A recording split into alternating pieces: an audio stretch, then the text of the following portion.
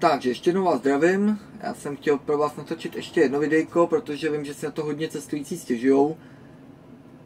A to je spoždění. Jo, já jsem vám chtěl popsat, jak z mýho pohledu, našeho pohledu řidičského, vypadá prostě, proč jezdíme pozdě. Jo, proč prostě se stane, že vlak, autobus, jo, mluvím o povrchové dopravě, jo, ono vlastně i metro prakticky. Podzemní, vzdušná, letecká, že jo Jo, jak dopravě vlastně vznikne spoždění? Tak, dva hlavní faktory, které ovlivňují spoždění, eh, vlastně prakticky i tři, tři hlavní faktory. Doprava samotná, cestující, technický stav vozidla. Jo, to jsou tři hlavní faktory a pak takový drobnější. A čtvrtý je individuální. Jo, ten je strašně zřídka, ale Stát se to může prostě. Tak, jak to ovlivní doprava? Doprava vlastně kolem nás víte, že jezdí prostě. Pohybují se ostatní kolegové, pohybují se tady osobní vozidla, nákladní vozidla, prostě cyklisti, cyklisté, chodci, jo, prostě ta doprava je strašně různorodá. A to všechno ovlivňuje to, jestli my přijedeme včas nebo ne. Třeba já jezdím po dálnici, a to, jestli přijedu já na čas, nebo nepřijedu, ovlivňuje, ovlivňuje průjezdnost dálnice, jak se chovají ty řidiči, jo, když jsou v koloně, jestli vytvoří záchrannou uličku, jestli zipujou, třeba když je tam nehoda, jestli dokážou zipovat, jo, jeden zprava, jeden zleva, nebo obráceně, jo, jestli dokážou tohleto, jo, strašně to ovlivňuje to, jestli přijedu včas. Jestli je někde uzavírka, objížďka, taky to ovlivňuje. Jo, proto jezdíme pozdě. Vy to třeba nevidíte, ale my řidiči máme denně výluky, objížďky, jo, semafory. Jo, taky nám to dost ovlivňuje. Některé semafory trvají extrémně dlouho. Jo, prostě když nestihnete interval, prokaučujete ho, nevím, cokoliv jiného, prostě trvá to. Jo, naberete sekundy, ze sekund se stávají minuty, z minut se stávají hodiny. To snad doufám, že ne, ale i tak to je. Jo, to samé je to i u vlaků, u čehokoliv jiného. Ať si vzpomenete prostě výluky, eh, kdy ty lidi třeba musí u vlaku z autobusu do vlaku, z vlaku do autobusu. Tady, tady třeba u nás u autobusáků je to třeba opravdu výluka, zavře, opravdu komunikaci, jak to třeba zavřou, nebo tam dají semafor, takže stojíte, čekáte, tím pádem už ten jízdní řád nestíháte, jo, protože co si budeme říkat, kdo nám dělá jízdní řády, tak ten v životě se nebyl za volantem, jo, někdy opravdu mám, máme jako řidiči co dělat, aby jsme to opravdu stíhali, jo. A cestující má jízdní řád, jo, a kouká, kouká, no už tady měl být, jo, kde je, zase jede pozdě, jo, pak přijde, jo, no už zase jedete pozdě, nestíháme přípoje, jo, ale to, že už někdo postavil na, na hovno jízdní řády, že tam je objížďka, to už ten cestující neví. Nevidí, jo, protože jeho zajímá ten spoj daný. Jo, a okolí ho nezajímá a samozřejmě první, kdo je na raně, řidič. Jo, takže doprava samotná, že jo samozřejmě velké množství chodců, že jo, jak taky ovlivňuje to, jestli nás vlastně řidiči osobních vozidel, ostatní účastníci silničního provozu vůbec pustí. Jo, se třeba napojit, někam vyjet ze zastávky. Jo, třeba vyjíždíme kolikrát ze zastávky 3, 3 až 5 minut. Jo, když je kolona, prostě málo kdo zastaví. Jo, to, to, to taky dost ovlivňuje. Jo, to strašně moc ovlivňuje. Takže, ta, takže to je asi ta doprava, a samozřejmě kolegové, že jo. Jestli jsou kolegové, kteří přemýšlejí, jo, tak budou vědět, když potom třeba jezdí linku na stál, tak budou vědět, hele, v tuhle tu hodinu přijíždí tenhle ten spoj, tenhle ten spoj, tenhle ten spoj, jo, a teď se potkáváme, jo. To samé jako když jedete třeba po kruhovém objezdu, jo, po kruhovém objezdu, když jedete, jo, tak jestli, jestli dokážete třeba to, že jo, jestli třeba toho kolegu pustíte, že ano, je to, je to ošklivý, ale z našeho pohledu nám to ušetří pár sekund, co by tam ten kolega čekal, než ho někdo pustí na tom kruháči, než bude moc tam najet. No tak my přijedeme, takhle mu to trošku přibrzdíme, pustíme ho, tím pádem on ušetřil nějaký sekundy na to, aby třeba stihnul odjezd včas, jo, nebo stáhne trošku spoždění. Jo, jestli nějaký má. Další, další aspekt. Jo, je to o kolegiálnosti, ale ta kolegialita už mezi autobusákama také není taková, takže to je takový ten první faktor. Druhý faktor jsou cestující sami. Jo, cestující samotný dokáže ovlivnit to, jestli ten spoj odjede na čas, nebo, nedo, nebo nedokáže odjet na čas. Jo, to znamená, když přijdete, jo, víte, že pojedete autobusem, jestli máte dostatek peněz. Jo, tak jestli už ty peníze máte připravený na zastávce, čekáte, že nám je sem jenom položíte, my vám vyjedeme jízdenku, což taky samo o sobě zdržuje prodej, ale s tím nic neuděláme. Jo, nebo jestli máte připravený mobilní telefon s QR kódem, nebo platební kartu, nebo víte vůbec kam jedete. Jo, ne, že přijede autobus, je to dost častá situace, hodně kolegů na to nedává. Cestující stojí, jo, na zastávce, jo, třeba 20 minut před odjezdem, to rádi, to hlavně v Třebiči rádi lidi pojou před autobusem, jo, a pak teprve loví, a já mám tady ještě kabelce, kam jsem dala tu peněženku, jo, a stojí 20 minut na zastávce, jo, a úplně k ničemu, proto, jo, a my nabíráme minutu, dvě, a my tady čekáme, jo, zbytečně čekáme, jo, a čekáme, a čekáme, než si paní vyloví peněž, peněženku, jo, já mám jenom dvou tisícovku, jo, no tak teď se s nima dohadujete, že jo, jo, zbytečně ztráta času, minuty, sekundy, to, co jsme mohli být už dávno třeba ze zastávky pryč, tak zdržuje tady ten cestující. A samozřejmě ostatní, že jo, kteří spěchají na přípoje. A ty ostatní už nevidí, že ta paní tady zdržuje, že nemá připravený peníze. Zase řidič. Jo? A řidič je debil, on to neumí udělat, nemůže jí pustit zadarmo, my potřebujeme chytnout autobus. Jo? A zase to jede. Jo, to je nekonečný boj. Takže cestující sami. Dál třeba, když máte nástup všema dveřmi, všemi dveřmi, všema dveřma, to je jedno, jo, tak jestli ty cestující čekají u těch jedních, nebo využívají celý, všechny ty dveře. Jo, protože kolikrát vidím to u šalin, přijede šalina, jo, otevře všechny dveře, jo, lidi, lidi vystoupí a všichni čekají u těch jedních a tlačí se tam, jo, zase. Spoždění, a ono autobusy, spoždění, jo, pár sekund, no, ze sekund jsou minuty, prokaučuje interval, prokaučuje, prokaučuje semafor, jo, a má z pauzy hovno. Protože díky tady těm blbcům, který stojí u těch dveří, jo, to jsem jako tady. Lezou lidi do autobusu, jo, teď, teď lezou, že jo, do zádu, do prostoru pro cestující a teď si stoupnou, stoupnou a dál se nehnou. Jo, vzadu mají haldu místa, ne, já chci stát prostě tady, abych mohl štěbetat s kamarádkou nebo s kamarádem, jo, vykecávat se, mluvit, mluvit o krávovinách, jo, většinou tady poslouchám poslední nebo jak do koho přefiknul, jo, to je strašně příjemný poslouchat, kdo si s kým kde užil, jako, to opravdu chcete v autobuse, jo, takže jako, jako hlavně, hlavně když jedou studenti, to máte opravdu představu o tom člověku úplně neskutečnou, jo, takže jako, hlavně holky, ty rády, tady štěbetají o těchto těch věcech, jo, takže to no. Teď samozřejmě řešíte průkazky, že jo, protože studentská do bohu nic. Máš studentský průkaz? No někde tady, teď začneš trvat a zase. A zase. Jo a samozřejmě výstup je to samý cestujících na konečný.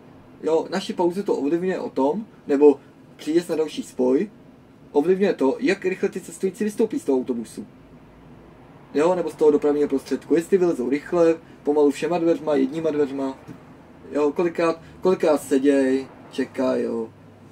Teď vidíte, teď zastavíte na zastávce, jo, někdo, vidíte, že někdo, zastávka na znamení, někdo, nikdo nevystupuje, jo, tak už tím předpokládáte to, pojedete 5, 20, 20 metrů před zastávkou, pic, zastav mi, vole, jo, takže brzda, jo, nebo kolikrát zastavíte, a oni pořád sedějí, oni pořád sedějí, jo, protože štěbetají, chrápou, jo, sluchátka, be, be, be, be, be, štěbetají, no vy se rozjedete, já jsem chtěl vystoupit, jo, jo, a proč se takhle jedou, jo. Jo, a zase, taky zastavíte za slušnosti, když máte tu možnost. Jo, a zase ztratili jste sekundy, minuty, protože když je odvezete dál, tak budete hovado, debil, kreten a všechno možný, co vás napadne, já už všechno dostal za, za ty dva roky, co jezdím autobusem. jo, co jsem všechno za hovado, jo, jak nejsem vůbec lidský, vole, jak, jaká jsem lidská zruda, jo, a samý horší slova, píču, de, jo, prostě všechno možný. Takže já už se jmenuju tolikrát, že už to ani nepočítám. Takže to jsou tak nějak cestující, čím to ovlivňují. Jo, to jsem jako když si nesou třeba jídlo, jo, tady posvědčej, posnídaj. Jo, ono je to hezký v autobuse, já vím, je to příjemný. Jo, a kdo to má po nich uklízet. Jo, žvejkací tabák, jo, sluchátka v uších, jo. Co? Dnes a denně těch případů je tolik, že bychom mohli s těma řidičema všema, co jsou za volantem, psát kroniky a mohli bychom vydávat díly deník řidiče autobusu úplně, úplně s přehledem. Denně máme takových anekdot, že by se myslím ty lidi hodně bavili. Jo, bylo by to možná i úspěšný. Já to psát fakt nebudu jako. No, třetí aspekt je technický stav autobusu. Ne každá firma má ty autobusy v takovém te- dobrém technickém stavu jako to. Jo, takže když přijde, nastupujete do firmy, že jo, jo, to s tím souvisí samozřejmě, že máte jako řidiči chodit do práce dřív, ještě před nástupem. Ano, máte to práce od tolika do tolika, ale pokud jste normální, jo, tak jdete, protože jsou to stroje, je to denně v provozu, nalítává to 100 000 kilometrů, někdy to má i milion, někdy milion a půl, někdy dva, někdy je to vojetina herka stará, protože firma chce ušetřit strašný prachy, do toho cpe, jo, pak řidiče platí úplně hovno, jo, a tak koupí největší vraky, jo, a pak to ovlivňuje taky technický stav autobusu, že jo. A samozřejmě řidič sám, jestli tam doplňuje volej, jestli ten autobus vůbec uklízí, jo, ona i špína, ona i ta špína třeba zanese ty dveře, že jo, nebo cokoliv jiného by třeba si řeknete, jak to může poškodit, jo, dost, dostane se tam sůl, voda, cokoliv, jo, je to elektroinstalace všude, sky všechno pomalu v elektrice, vzduch, jo, pic, a jste prdeli. Jo, autobus nejede, lidi vás žerou, máte spoždění, jo, a den, den řidiče vám stojí úplně na hovno. Takže technický stav autobusu, takže když se firma o ty autobusy stará, jo, tak zase je to základ toho, že ten autobus odjede na čas. Teď ráno přijdete, máte poruchu, jo, přijde řidič včas nástupu, několikrát dávají rádi firmy 10-20 minut do odjezdu, někdo chodí klidně 5 minut před odjezdem, jo, že to nahrká, teď přijde, rozsvítí se mu červená, dobíjení, nemá olej, nemá chladící kapalinu, nemá tohleto, jo, zvlášť na městský třeba, tak tam je záloha na příměstské dopravě, když třeba přijede řidič střídač vysere se na, na přípravu, pic, olej, chladící kapalina, oh, problém, ale on to nedoplnil, protože ten druhý, co to jeho vozidlo, je to hovado, ten na to sere, jo, tak to připravuje kolegovi, teď jdete spožděný, lidem ujíždí přípoje, jo, a nabíjáte spoždění. To je další důsledek toho, proč ten autobus přijede pozdě. Jo, čtvrtý, čtvrtý způsob, jo, čtvrtá, čtvrtý důvod spoždění je strašně individuální, a je to opravdu na řidiči. V kolik přijde do práce, o kolik minut najde na zastávku, někde to je dokonce doporučený, jo, že by ten řidič třeba tam rád najel dřív, ale integrovaný dopravní systém jim třeba umožňuje jenom třeba minutu nebo pět minut před odjezdem najít teprve na zastávku dřív, ne. Zase je to udělané z toho důvodu, protože by blokoval ostatní, ostatní linky, jo, je to nějakým stylem nakonfigurovaný, jo, ale když tam pak máte hodně lidí, jo, tak za pět minut to prostě odbavíte, tak nabíjáte spoždění, jo. Víte sami, že prostě množství cestujících je strašně nárazový, někdy tam stojí 4, někdy tam stojí klidně 40, jo, a všichni chtějí jízdenku. Takže to dost ovlivňuje.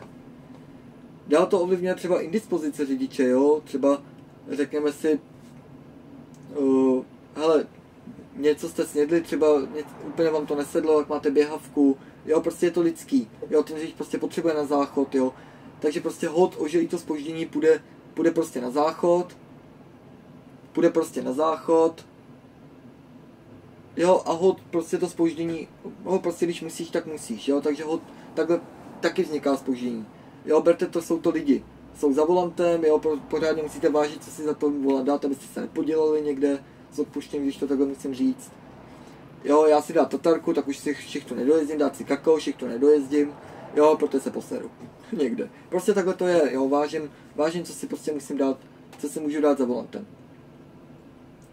Jo, a takhle to prostě máte pořád. Jo, dál to ovlivňuje taky třeba přípravu toho autobusu, jak jsem říkal, jo, záleží na tom řidiči, jestli si to zkontroluje, jo, aby pak ráno neměl problémy, nebo jestli si autobus připraví na další den.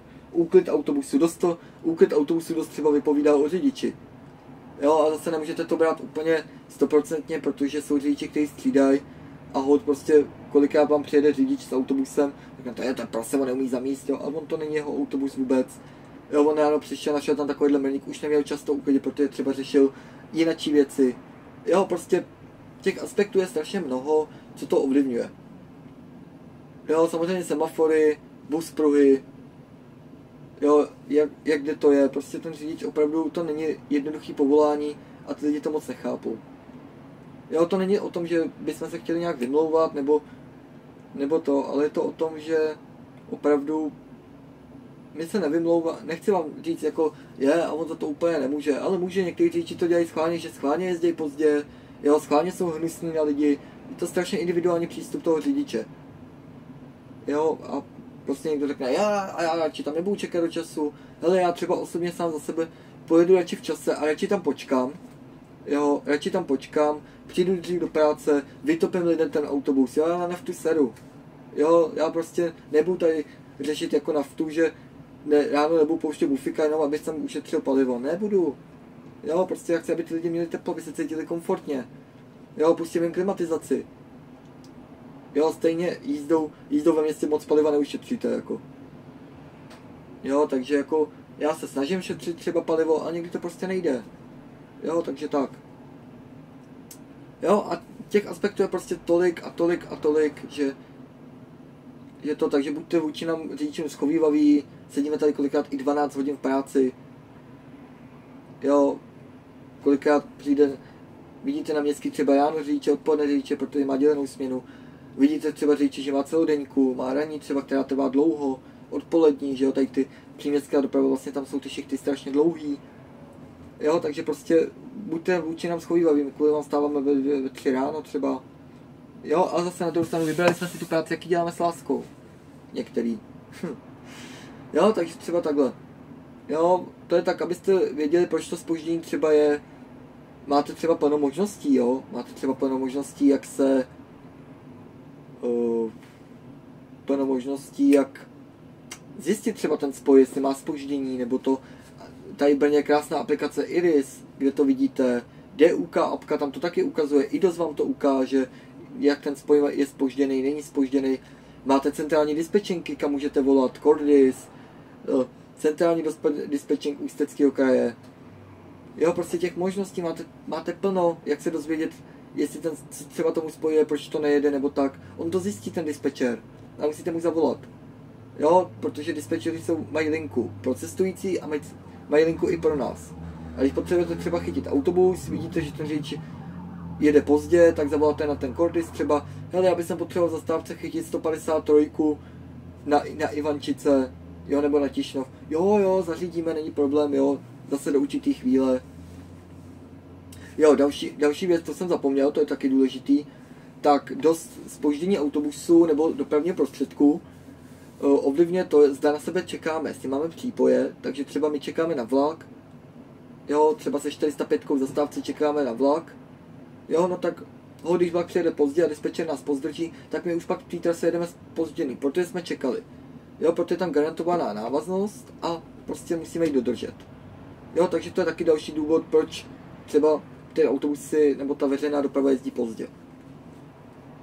Takže já doufám, že jsem vám to nějakým způsobem vysvětlil, abyste věděli, jak může třeba vzniknout v dopravě spoždění.